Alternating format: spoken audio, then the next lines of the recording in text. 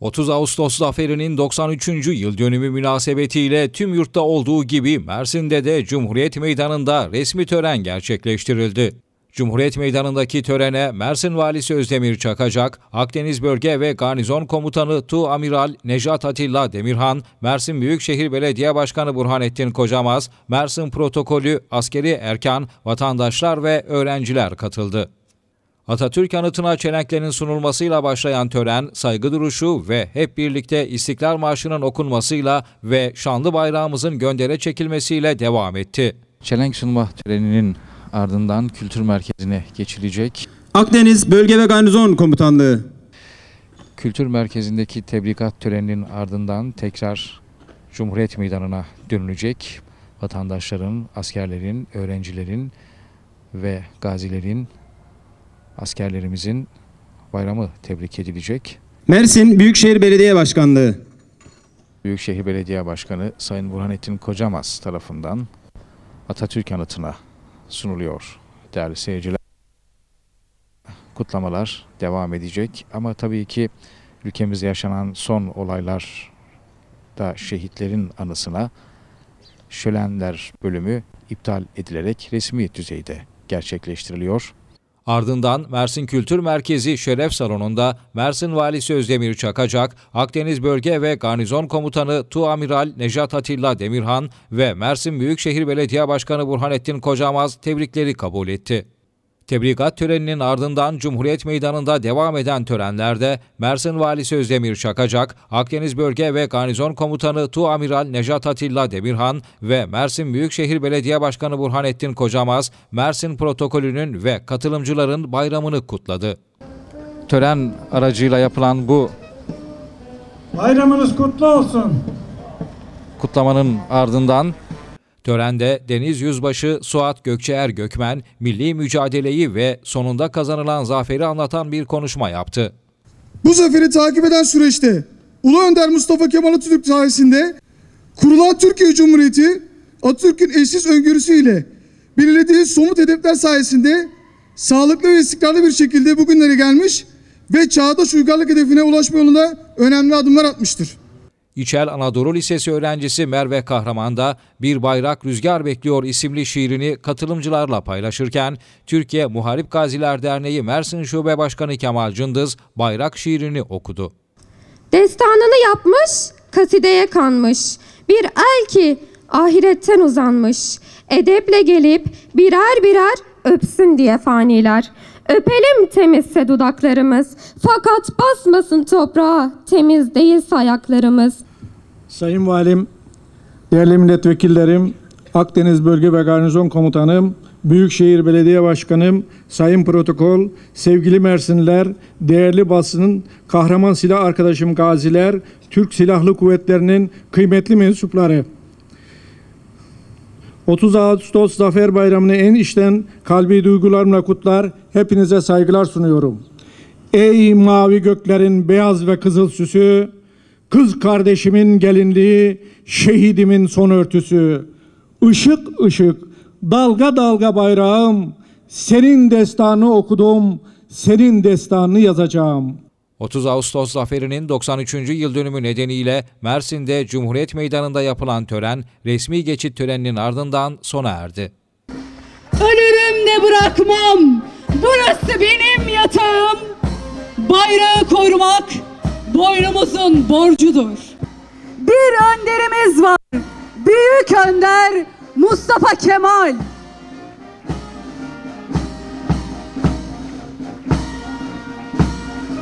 Bu toprağın bağrında bir coşkun çağlayanız. Dağdan dağa atlarız, coşar, coşar gürleriz. Türk'ün kolunda kuvvet, damarlarında kanız. Biz tarihe bir altın yaprak açan erleriz. Onlar Gazi Kemal'in askerleri. Onlar bir çağlayan, onlar bir pınar. Onlar bir Sakarya, bir Dumlu Pınar. Onlar Kocatepe, yıkılmaz Hisar. Onlar Gazi Kemal'in askerleri. 30 Ağustos Zafer Bayramı'nın 90 93. yılını büyük bir coşkuyla sevinçle kutlamanın mutluluğunu yaşıyoruz. Öncelikle Zafer Bayramı'nın hem Mersinli hemşehrilerimizin hem milletimizin bu güzel büyük bayramını en içten dileklerimle tebrik ediyorum. Ve Cumhuriyetimizin kurucusu Büyük Önder Gazi Mustafa Kemal, kahraman silahlı arkadaşları, kahraman Türk ordusuna, aziz şehitlerimize, kahraman gazilerimize şükranlarımızı, minnetlerimizi ifade etmek istiyorum.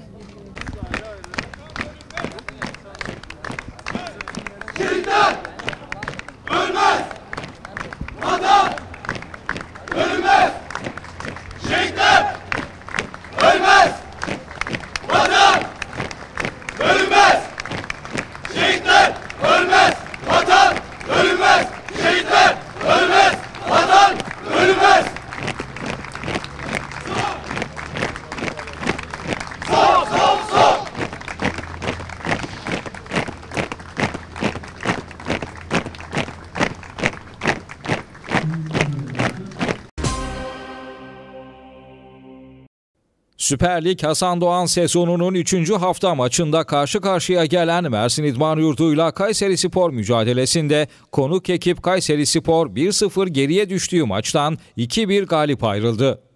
Maçın ilk ciddi atağı 19. dakikada ev sahibi ekip Mersin İdman Yurdu'ndan geldi. Vederson'un kullandığı serbest vuruşta ceza sahası içerisinde Pedriel'in kafa vuruşunda top savunmaya çarptı. Savunmadan dönen topa Velit'in vurdu. Etkisiz vuruşta top Nakulman'ın önünde kaldı. Nakulman'ın vuruşunda top avuta çıktı. 33. dakikada Kayseri Spor orta sahada kısa paslarla Mersin ceza sahasına kadar geldi. Burada Ömer'in pasında topla buluşan Diego vuruşunda topu avuta gönderdi. İlk yarının 37. dakikasında Kalili'nin vurmuş olduğu frikik atışı az farkla avuta çıktı. 43. dakikada Murat Ceylan'ın derin pasında topla buluşan Velit'in ceza sahasına kadar girdi. Kaleciyle karşı karşıya kalan Velit'ine Hakan Arıkan izin vermedi. Maçın ilk yarısı 0-0 sona erdi. İkinci yarının 48. dakikasında Vederson'un kullandığı serbest vuruşta rakip savunmasından seken topu önünde bulan Velit'in düzgün bir vuruşla takımını 1-0 öne geçirdi. 58. dakikada Mersin İdman Yurdu'nda Vederson'un kullandığı korner atışında Pedriel topa kafa vurdu ve top avuta çıktı. 66. dakikada Nakulman'ın pasında sağ kanatta topla buluşan Oktay Delibalta ceza sahası çizgisinde düzgün bir vuruş yaptı ve top kaleci Hakan Arıkan'da kaldı. 70. dakikada Oktay Delibalta'nın orta sahadaki geri pasında araya giren Ömer topla buluştu. Kaleci Mihailov'u geçen Ömer takımının beraberlik golünü attı ve Mersin İdman Yurdu 1, Kayseri Spor 1 oldu. 85. dakikada sol kanatta Diego'nun ortasında Barış Özbek ıskaladı. Zeki Yavru'nun ceza sahası dışındaki sert vuruşunda top ağlarla buluştu ve Kayseri Spor bu golle 2-1 öne geçti. Karşılaşmada başka gol olmayınca maç konuk ekibin Kayseri Spor'un 2-1 üstünlüğüyle sona erdi. Kayseri Spor Teknik Direktörü Tolunay Kafkas, Mersin İdman Yurdu karşısında aldıkları 3 puanın altın değerinde olduğunu söyledi. Kafkas, 2-1 kazandıkları Mersin İdman Yurdu maçı sonrasında yapmış olduğu açıklamada sahada ilk 45 dakika oldukça dengeli bir oyun vardı dedi. İlk 45 dakika aslında olabildiğince dengeli bir oyun vardı. Ee, biz naka olmaya özellikle Wellington'un yapacağı koşullara ikiye birlere biraz önlem almaya çalıştık. Başarılı da olduk ilk devre. Hızlı hücum etmeyi, top bizdeyken de hızlı hücum etmek bizim e, genel oyun anlayışımızdan bir tanesi. Zaman zaman bunu başardık. Özellikle Bisesvar'la ve Ömer'le yakaladığımız pozisyonları değerlendiremedik. Bir duran top e, zaafımız var. Geçen hafta da duran toptan yedik. Bu hafta da golü duran toptan yedik. E, oyuncularımı verdikleri mücadeleden dolayı e, kutluyorum, tebrik ediyorum. İyi bir mücadele verdik. Özellikle Mersin İtman Yurdu takımı geçen sene ligin flash takımlarından, e, iyi takımlarından bir tanesiydi. Aynı özelliklerini devam ettiriyorlar. E, bizim için alınan 3 puan altın değerinde. Çok e, mutluyuz. Oyuncularımın gösterdiği performanstan dolayı da onları tebrik ediyorum. Sorusu olan var mı? Hepinize çok teşekkür ediyorum. Sevgiler, saygılar. Sağ olun. Kendi sahası Mersin Stadyumunda Süper Lig'in 3. haftasında konuk Kayseri Spor ekibine 2-1 mağlup olan Mersin İdman Yurdu'nun teknik direktörü Mesut Bakkal, Kayseri Spor karşısında üstün oynayanın kendileri olmasına rağmen sonucun kötü olduğunu söyledi. Bakkal, evlerinde 2-1 yenildikleri Kayseri Spor maçı sonrasında yapmış olduğu açıklamada sonuç olarak en kötü başlayan yıl benim için dedi. En kötü başladım kendi namıma söylüyorum. En kötü başladım sonuç olarak en kötü başladığım yıl. Ee, anlam veremediğim bir şey var. Yani top oynama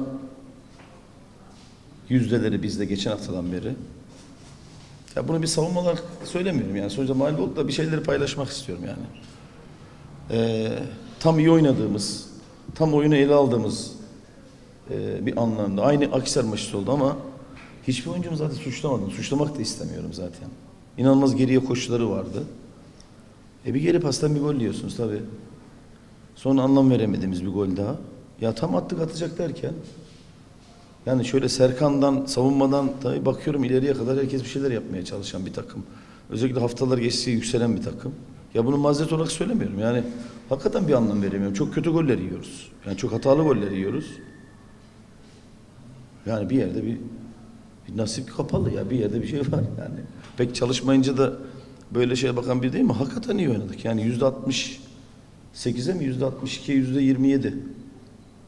Ama çok basit gol arıyoruz. Yani özetle benim söyleyeceğim maçla ilgili bunlar arkadaşlar. Kemal abi bu geri pasında geçen hafta da yedik yani. Yani anlam verin. Böyle böyle de olmaz. Öbür geçen hafta degajda da yani kimse suçlama anlamında değil yani. Bu hepimizin bu suç ha.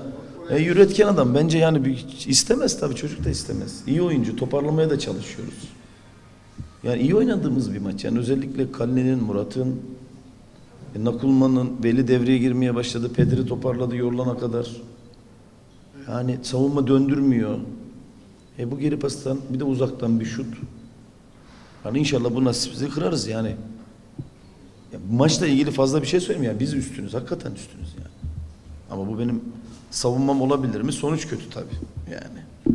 Başka soru varsa alayım arkadaşlar. Var mı? Sorusu olan var mı? Yok. Hadi kolay gelsin. İkinci Mersin Büyükşehir Belediyesi Karakucak Güreşleri dördüncü gününde Çamlıyayla Zevzek Tepesi'nde yapıldı. Büyük Taarruz ve Zafer Haftası kapsamında düzenlenen güreşlerde heyecanlı müsabakalar vatandaşlar tarafından büyük ilgi gördü. Türklerin en eski sporlarından olan ve yağsız çayır güreşi olarak da bilinen kara kucak güreşlerine Türkiye'nin birçok yerinden gelen 270 sporcu katıldı. Çekişmeli müsabakaların yaşandığı Er Meydanı'nda güreşçiler 13 kategoride galip olabilmek için ter döktü. Çamlıyayla Zevzek Tepesi'nde yapılan güreşlerde bir konuşma yapan Mersin Büyükşehir Belediye Başkanı Burhanettin Kocamaz, 26 Ağustos Büyük Taarruz'un başladığı tarih, 30 Ağustos'ta Büyük Zafer'in ceddimizin kanı, canı pahasına bu vatanı hür ve bağımsız olarak bizlere emanet ettiği tarihtir. Allah onlardan razı olsun. Bütün şehitlerimize Cenab-ı Allah'tan rahmet, gazilerimize sağlık diliyoruz dedi. Etkinliklerdeki amaçlarının atasporu olan güreşi özellikle yeni nesile özendirmek olduğunu dile getiren Başkan Kocamaz, yaşanan bölücü terör olayları nedeniyle etkinliklerin şenlik bölümlerinin iptal edildiğini söyledi. Büyükşehir Belediye Başkanı Burhanettin Kocamaz, Çamlıyayla halkının nezdinde Türk milletinin 30 Ağustos Zafer Bayramı'nı tebrik ederek konuşmasını tamamladı.